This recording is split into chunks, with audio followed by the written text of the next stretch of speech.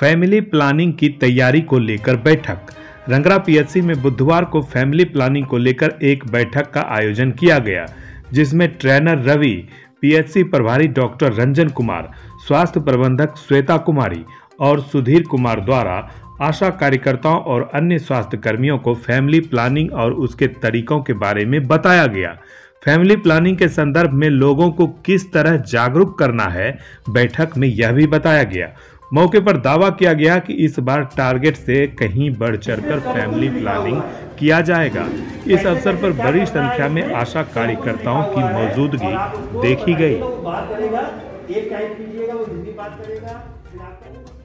रंगरा के तीन पंचायतों में बाँध निर्माण को लेकर चलाया गया हस्ताक्षर अभियान। रंगरा प्रखंड के सधुआ चापर, कोसकीपुर, सोहरा और मंदरौनी पंचायत में अंग प्रदेश अंगिका महासभा के संगठन सचिव शुभम कुमार के नेतृत्व में अंग प्रदेश और अंगिका महासभा के सभी कार्यकर्ताओं के साथ मंदरौनी सोहरा बाँध निर्माण को लेकर पहल किया गया। इसके लिए अंग प्रदेश अंगिका महासभा के सभी कार्यकर्ताओं ने एक साथ मिलकर हस्ताक्षर अभियान भी चलाया। जानकारी दी गई कि अभियान का आज चौथा दिन था। अभियान में अनुराग कुमार आर्य भी शामिल थे।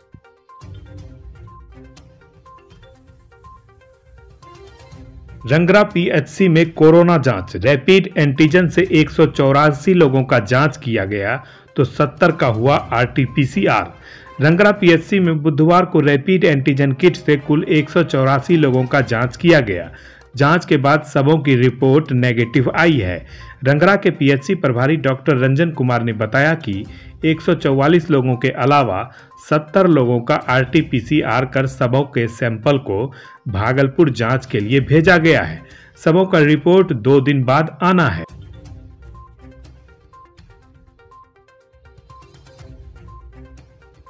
पटना ज़िले से अपहृत युवक की बरामदगी। 2 जनवरी को पटना ज़िले के बाढ़ के मीर मोहल्ला से अपहृत पप्पू कुमार को बाढ़ थाना पुलिस ने रंगरा पुलिस के सहयोग से गोपालपुर थाने के कालिंदी नगर से बरामद कर लिया है। पुलिस ने इस दौरान पूछताछ के लिए कालिंदी नगर निवासी रामविलास सिंह के पुत्र सोनू कुमार को भी हिरासत में लिया है। देर शाम पुलिस दोनों युवकों को लेकर बाढ़ के लिए रवाना हो चुकी थी।